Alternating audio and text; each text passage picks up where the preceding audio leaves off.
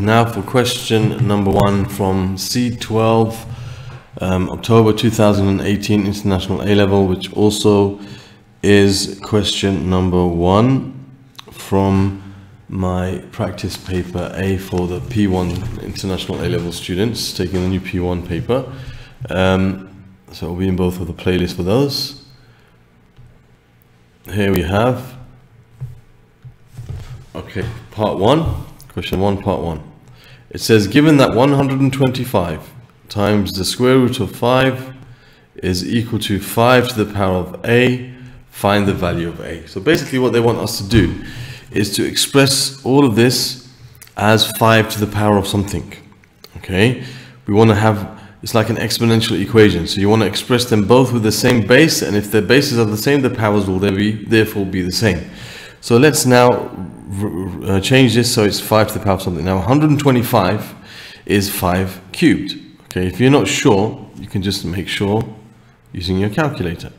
But basically, we, we know that this says 5 to the power of something, so obviously they want us to express this as 5 to the power of something. So if you just, you know, you can just um, try different values for, for this, but we know 5 squared is 25, 5 cubed is 125. So you know this is 5 cubed, and you know 5, the square root of 5 is the same as 5 to the power of half. So I can write this as 5 cubed times 5 to the power of half.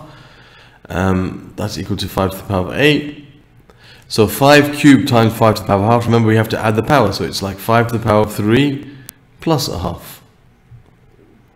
Okay, equals 5 to the power of 8. So we can say a is equal to 3.5. 3.5, 3.5, 7 over 2, as you wish. Okay, so that's the value of a. Okay, just rewrite it so they both have the same base, then the powers must be the same. Okay, now for part 2, we are to show that 16 over 4 minus root 8 equals 8 plus 4 root 2. You must show all stages of a working. So in this type of question, especially where they have given us the answer, you have to be really careful to show your steps properly so that the examiner can see exactly how you have done the work. So you got 16 over 4 minus the square root of 8.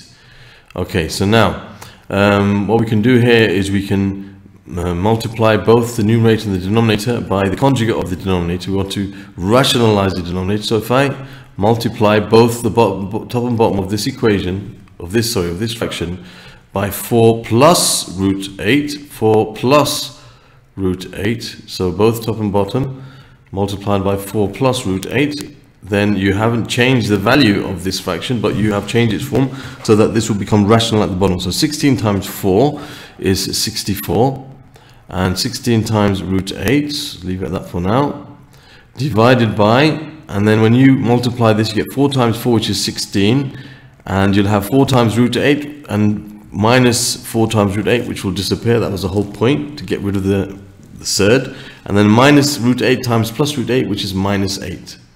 Okay, now we can try to simplify this. So let's simplify this by doing a couple of things. Let's take out a common factor on the numerator, which is 16. We've got 16 times 4 minus uh, root 8. And underneath you've got a common factor of 8. 16 minus, well, well you got 8 basically, not common factor, but 16 minus 8 is 8. And here 8 and the 16 cancel out, leaving you with 2 on top and 1 underneath. So now we don't have a fraction, we just got this on the numerator. So we got 2 times 4 is 8 and 2 times root 8 is minus 2 root 8. Now, the question didn't have it in this form. It has the form, it has the question 8 minus 4 root 8, sorry, 8 plus 4 root 2. So that should be a plus here, not minus. Silly mistake. Please take care of making silly mistakes like that.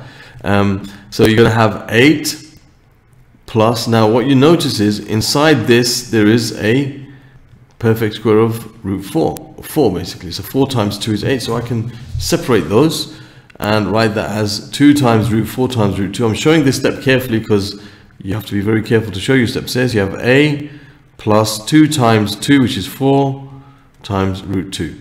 Root 4 is equal to 2, so you have a plus 4 root 2, which is what we had to show.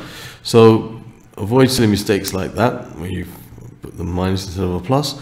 And also make sure you show all your steps so that everything is clear, so that you, you can see that you have not, you know, just... Um, written down stuff from your calculator. So that's the end of that question. Now this question was, as I said, from October 2018 C12 and also from my practice paper A that I made for my students for their P1 International A-level paper.